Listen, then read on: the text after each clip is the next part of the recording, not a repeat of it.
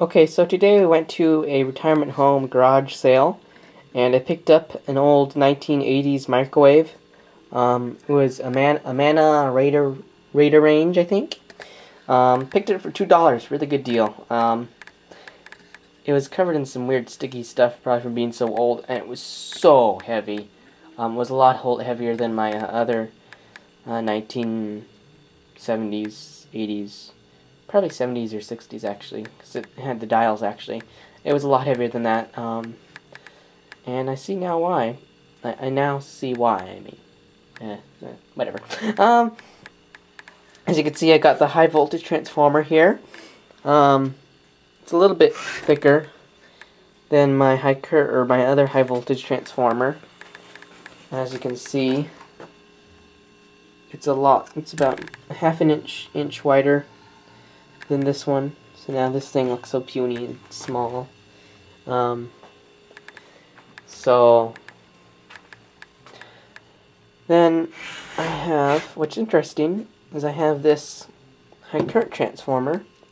And as we all know, there is also on regular um, regular microwave oven transformers have the high current um, winding right on directly onto the transformer.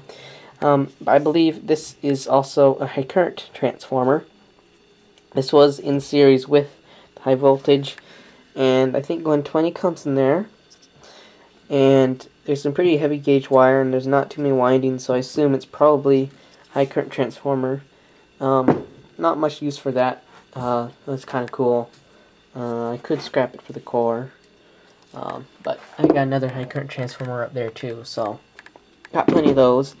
But this is this is the cool part, and this weighs a lot heavier than the other one.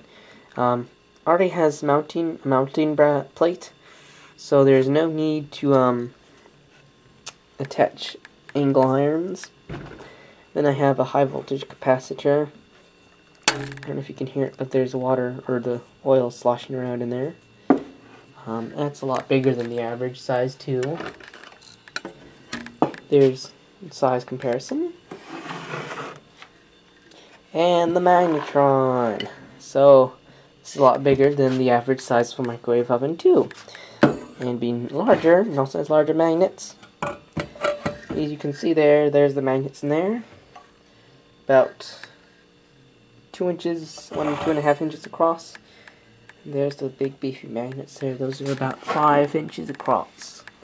It's a lot bigger. Um, yeah, it's big, just what I like. And also, it came with a whole cookbook. Very interesting.